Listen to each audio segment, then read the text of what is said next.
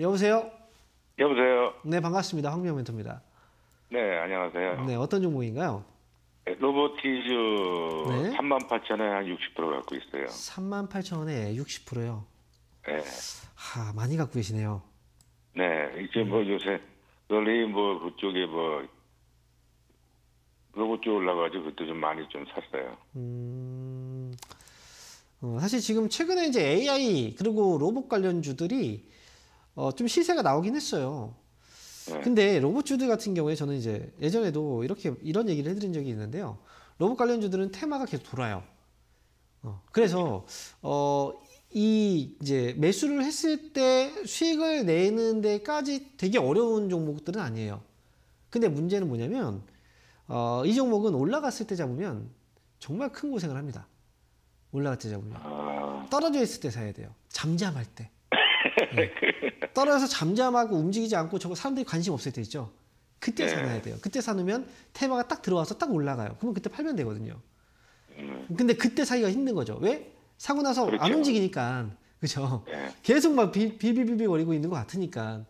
그런데 오히려 이렇게 올라갈 때 사면요. 되게 빠르죠.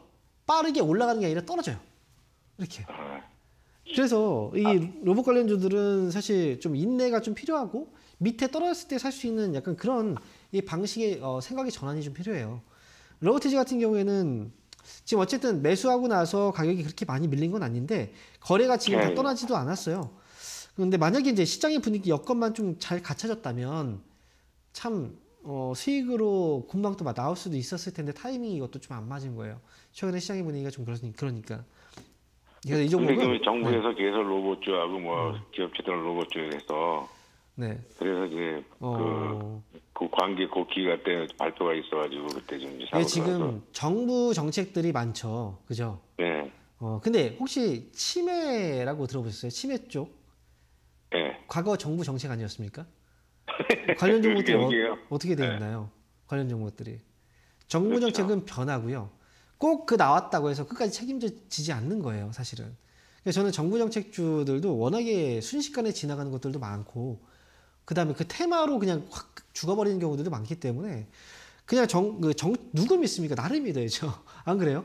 나 자신을 믿어야지 남을 믿으면 안 돼요. 그것도. 그럼 뭐 손절하고 나와야 돼요. 어떻게 지금 네, 지금 제가 방법을 알려드릴게요. 어, 이 종목은 지금 수- 뭐 순전히 trading 위주로 접근을 해야 될 수밖에 없어요. 그래서 위험한 자리만 잡아드리면 이 종목은 지금 33,000원 이 가격 위에서 있으면 아직은 괜찮아요. 33,000원 위에 있으면 지금은 이제 35,000원이니까 위에 있잖아요. 그렇죠. 네. 그래서 아직까지는 시세가 끝나진 않았다고 봐요. 그래서 어, 만약에 여기서 33,000원 아래로 떨어지지 않고 반등 주면 어, 잘하면 수익으로 나올 수도 있거든요. 그게 4만 원입니다.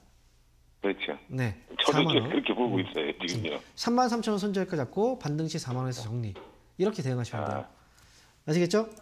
아, 감사합니다. 네, 응원하겠습니다.